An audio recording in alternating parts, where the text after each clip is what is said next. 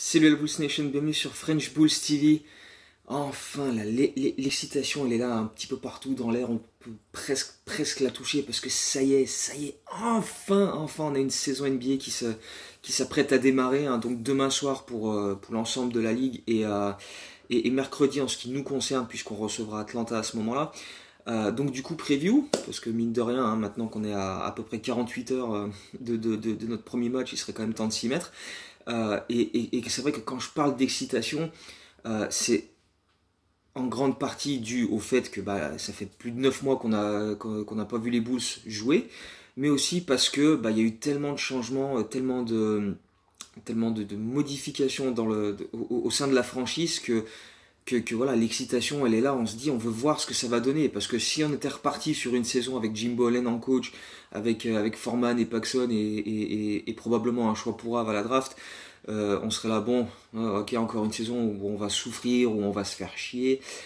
Mais là, non, là, non, parce qu'il y a eu tellement de changements. On peut, on peut, on peut euh, revenir sur les principaux changements, hein, avec évidemment l'arrivée d'Arturas de, Karnichovas en tant que vice-président des opérations basket.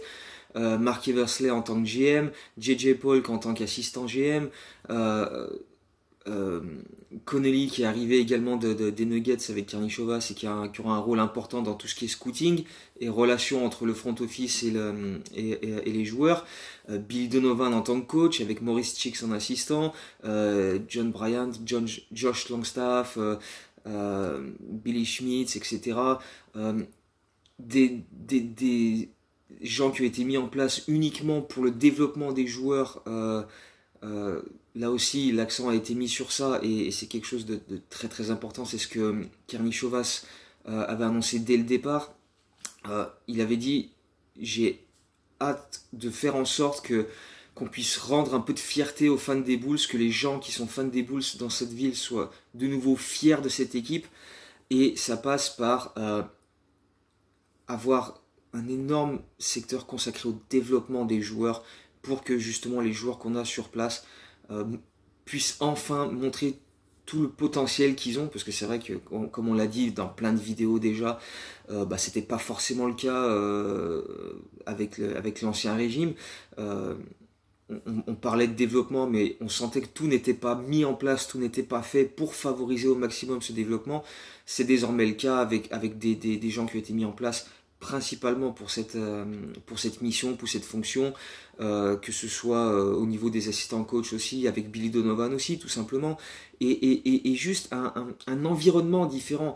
quand, quand, tu, quand tu vois toutes les interviews des, des, joueurs pendant le training camp qui disent Tierney Chauvas, Eversley, Donovan, les assistants coach, ils sont là tout le temps, ils sont avec nous, ils, mettent une ambiance différente, ils te parlent tous les jours, et ça change par rapport à l'an dernier bah déjà rien que ça, tu vois, ne serait-ce que voilà, cet environnement-là, euh, pour les joueurs, ça fait, ça, ça, fait une grande différence. Euh, donc, euh, et, voilà, tu vois, un coach comme Donovan, avec, avec sa communication, sa philosophie de jeu, la, la, la, la, psychologie qu'il use au quotidien avec ses joueurs, ils sont tous déjà, ils sont tous déjà conquis, quoi.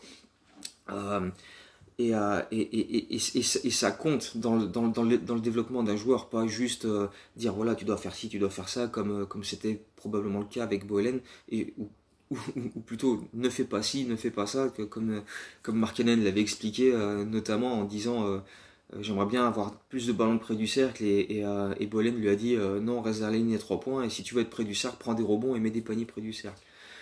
Bon, ça, c'est pas ce qui aide à favoriser un développement, ça c'est clair.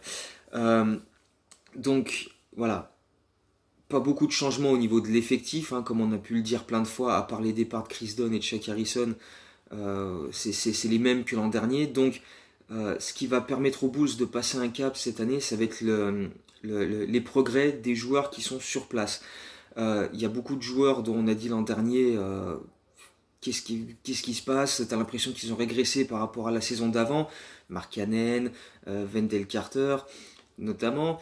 Euh, tu as des joueurs qui sont arrivés, euh, qui faisaient de bonnes choses dans leurs autres équipes, comme Satoransky euh, par exemple, ou, ou Tadeusz Young.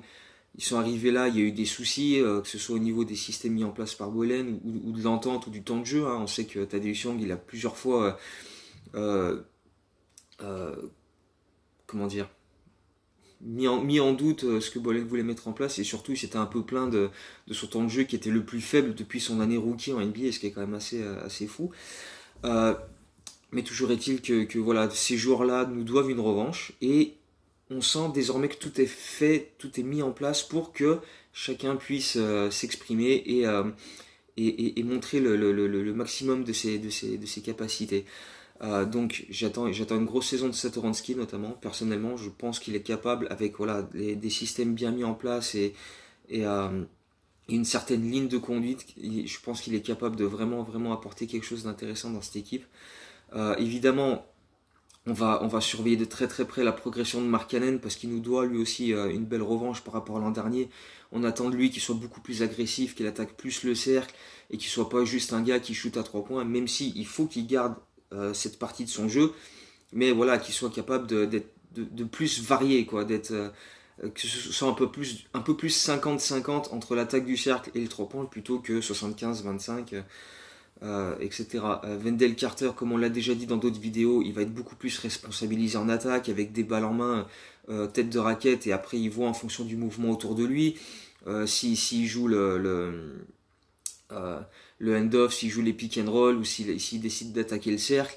Euh, et en fait, voilà, pour Wendell Carter et pour Euh, le principal axe de progression, ça va être de reconnaître et profiter des match-ups favorables quand ils vont en avoir. Et c'est aussi un petit peu pour ça, je pense que, que Mark Cannon a parfois été testé en poste 5 euh, pour essayer de, voilà, mets-toi près du cercle et si tu vois que le mec en face de toi, bah, il est, il, est moins costaud, il est plus petit, boum, enfonce-le, attaque-le et, et voilà profites-en, quoi. Euh, exploite, exploite ça. Et c'est, quelque chose qu'on a très très peu fait euh, l'an dernier, pas seulement avec Mark Hennon ou, Wendell Carter, mais c'était, voilà, quand on avait un match-up favorable, on avait du mal à, s'en servir et, à en profiter. Donc voilà, ça, ça va être quelque chose sur lequel on va beaucoup se, euh, se, focaliser cette saison parce que ça va être un axe de progression important. Euh, comme on l'a déjà dit également dans d'autres vidéos, euh, circulation, mouvement du ballon, euh, les aides à l'opposé, les cuts au cercle, ça va être vraiment quelque chose de, fondamental pour nous pour que qu'on n'ait plus cette attaque statique de l'an dernier où bah, il se passait rien et, et Lavigne forçait beaucoup de shoots pour, pour essayer de créer quelque chose et, et, et c'était pas, pas forcément toujours bien, bien concluant. donc voilà, Zach Lavigne par exemple, pour la saison qui arrive, euh, j'ai pas vraiment de doute le concernant. Il est capable de scorer 20 euh, points, 25 points, euh, comme ça, tu vois, tu, sans, sans, franchement forcer plus que ça. Et, voilà, avec le, le, le, mouvement qu'on va proposer cette saison, il aura plus de possibilités de laisser le jeu venir à lui et se dire bon voilà, là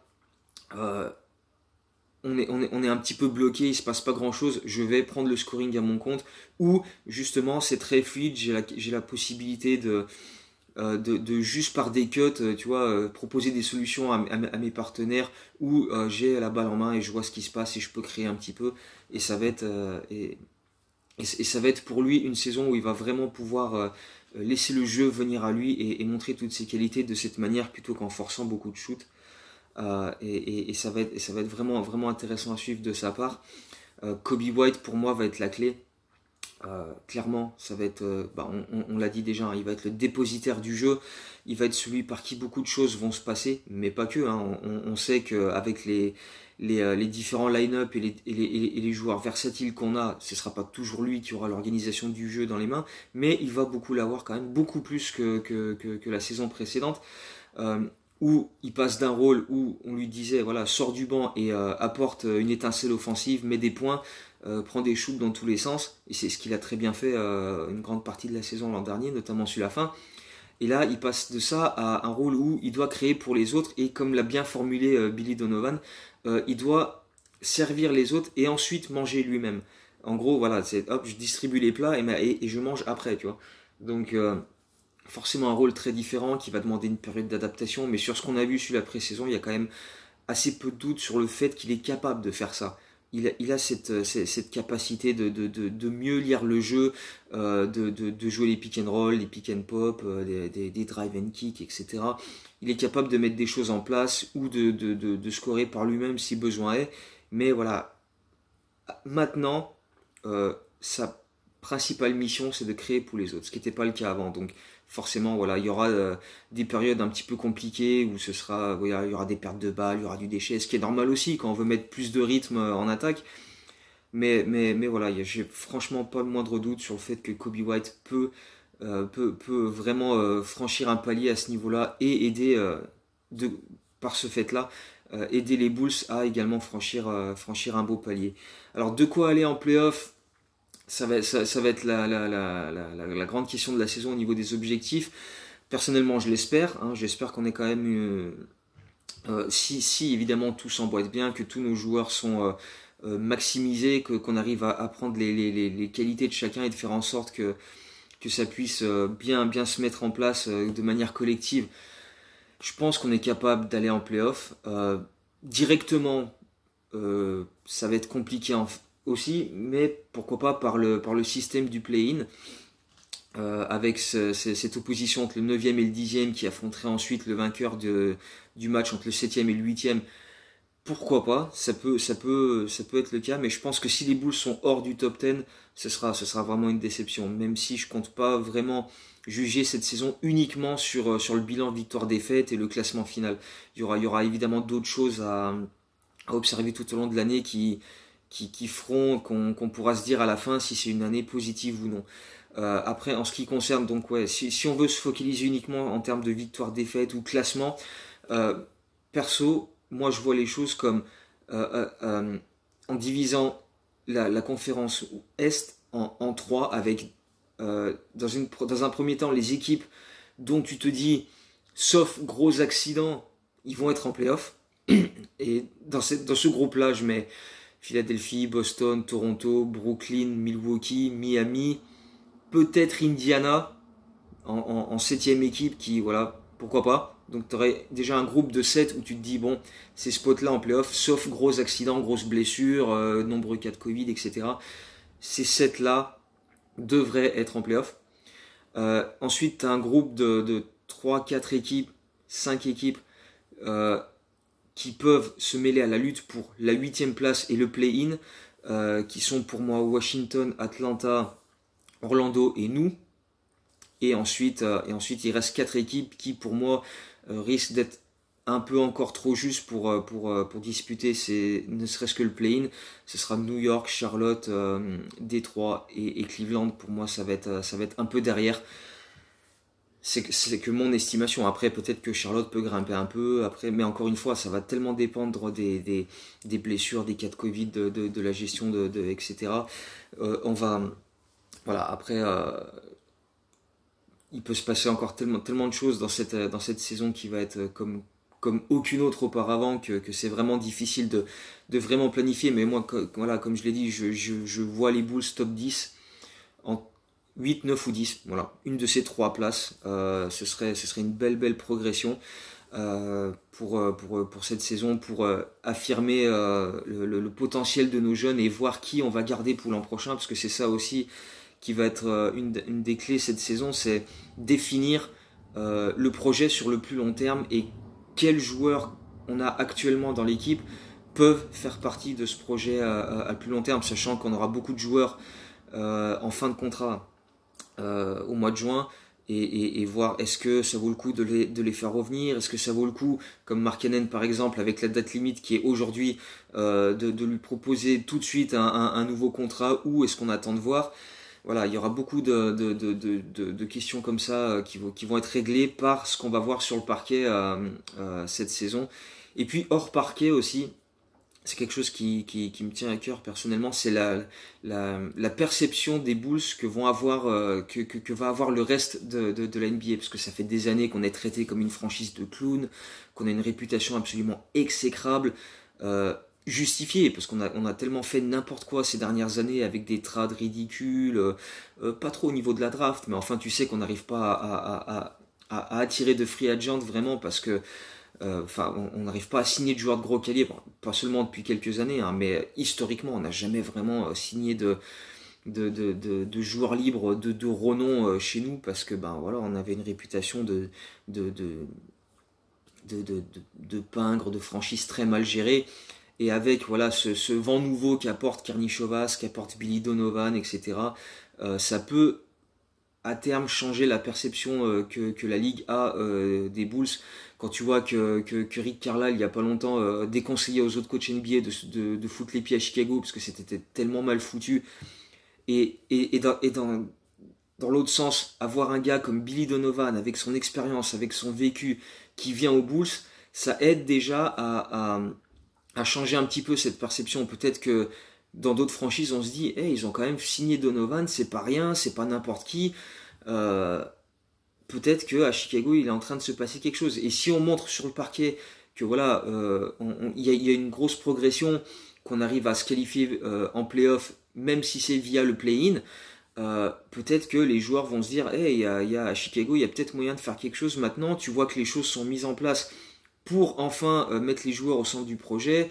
Ça peut être intéressant, etc. Enfin voilà, petit à petit faire en sorte que les Bulls ne soient plus vus comme une blague au sein de la ligue. Voilà déjà. Après que, ce soit par tu vois, les, les, les, mecs qui viennent sur Twitter ou, ou, ou, ou YouTube pour dire juste en regardant le classement, oh, vous avez fini dixième, vous êtes nul, machin, ça, ça c'est pas important. Ce qui est important, c'est la perception euh, des Bulls par le reste de la ligue et par, euh, par les agents des joueurs, par les joueurs pour dire, hey, tu vois, avant Chicago, je t'aurais dit, n'y va pas, mais maintenant, euh, peut-être, tu vois, il y a un truc qui se met en place. Voilà, c'est ça qui est, c'est ce que les Bulls essayent de, de, de, mettre en place. Voilà, changer l'image de, la franchise après tellement d'années où on est passé pour des billes.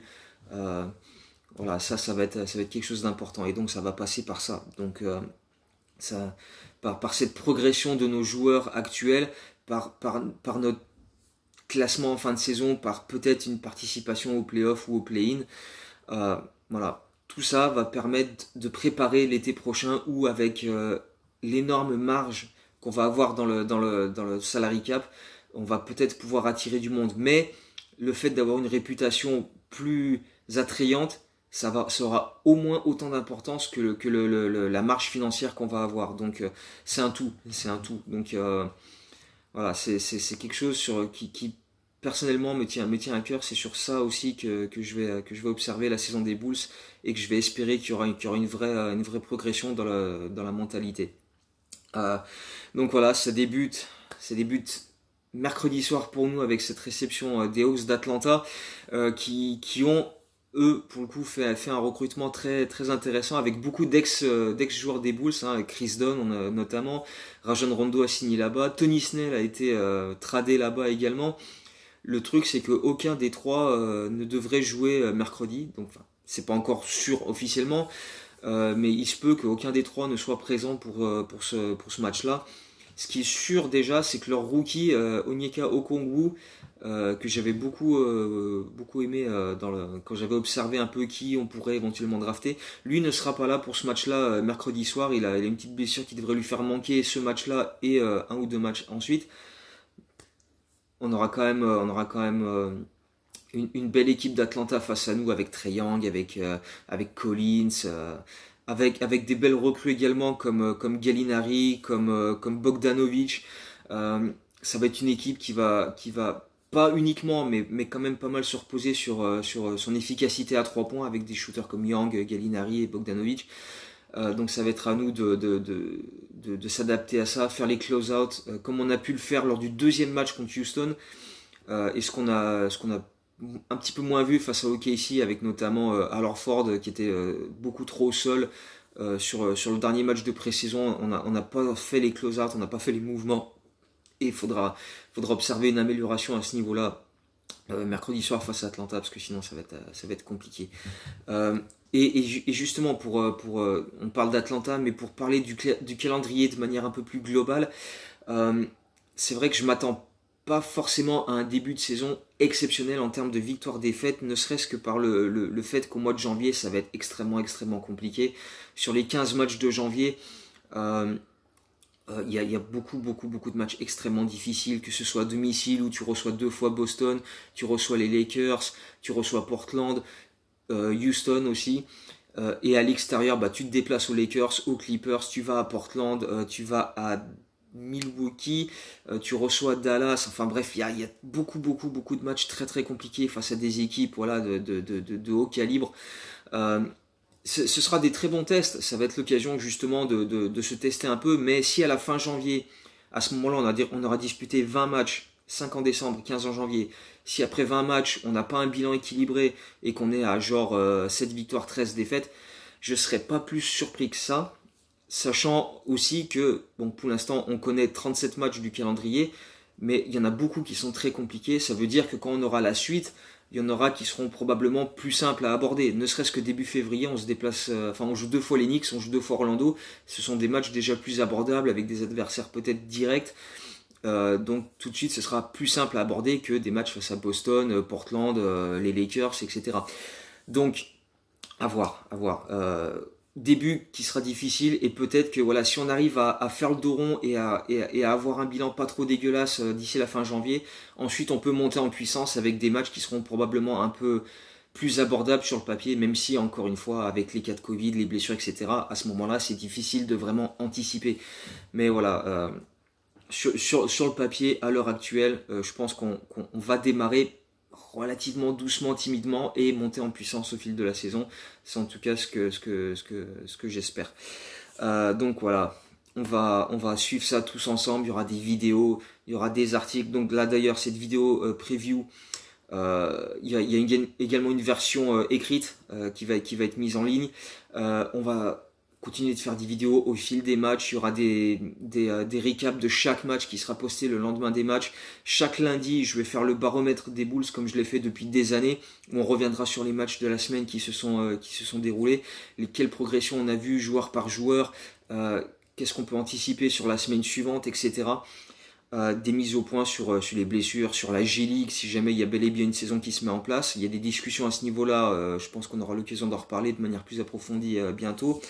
Euh, il y aura euh, voilà du contenu, du contenu, du contenu, du contenu. Je vais en foot, mais partout là, sur le site, euh, sur sur la page YouTube, sur le compte Twitter, il y en aura partout. Donc voilà, si si vous êtes en manque de boules, si vous cherchez du contenu sur les boules, je vais, je vais en foutre absolument partout. Donc, donc voilà, je mettrai probablement un tweet où, où je vais récapituler tout ce qui, tout ce qui, tout ce que je vais mettre en place au fil de la saison. Mais ouais, une bonne centaine d'articles, euh, des vidéos, en veux-tu, en voilà. Surtout que maintenant, avec, avec euh, on est tous retournés en confinement pratiquement. Hein. donc euh, il y aura le temps d'en faire. Et, voilà, ça va être génial. Ça va être génial à suivre. Ça va être vraiment excitant. Parce qu'on se dit, putain, voilà, cette saison, enfin, on se donne les moyens de nos ambitions. Autant avant, on disait, ouais, pourquoi pas, mais avec Bolen, machin. mais là, on se donne les moyens. Donc ça va être une vraie, belle saison à suivre en se disant cette année on peut faire quelque chose. Donc voilà, on va la suivre tous ensemble. J'espère que vous serez là avec moi. Euh, donc voilà, n'hésitez pas à donner vos avis sur ce que vous, vous pensez de cette saison. Quel classement on peut avoir? Est-ce qu'on peut viser les playoffs? Est-ce que c'est encore trop tôt pour, euh, ce groupe qui reste encore très jeune hein? Surtout si Pat Williams est titulaire. Ça aussi, euh, j'ai pas, vraiment eu l'occasion d'en de, de, parler. Mais il est possible que Pat Williams soit finalement le titulaire du poste 3. Ça nous donnerait un 5 de départ en dessous des 22 ans de moyenne d'âge. Donc voilà, avec, cette, avec une telle jeunesse, euh, ça, à, voir ce qu'on est capable de, de, produire. Mais en tout cas, il y a vraiment euh, beaucoup d'excitation. Donc euh, voilà, j'espère que vous aussi vous êtes excités par cette nouvelle saison. donc voilà, ouais, comme je disais, dites-le moi. Hein. si, si, vous, si vous pensez qu'on est capable d'aller en playoff, si vous pensez que c'est trop tôt, si vous pensez que, que, voilà, Billy Donovan est le coach idéal, ou si vous auriez préféré autre chose, Bref, voilà, on est, on, va il y aura énormément de débats tout au long de la saison, donc euh, voilà, faites-moi savoir qu'est-ce que vous en pensez euh, et, on en discute. Donc voilà, d'ici euh, le match d'ouverture de, mercredi soir qu'on va suivre ensemble en live tweet, bah voilà, portez-vous bien et dites-moi ce que vous, ce que vous pensez de la saison des Bulls et si vous êtes excité par tout ça. Donc voilà, j'attends vos avis et donc d'ici là, bah, à bientôt et comme toujours, go Bulls.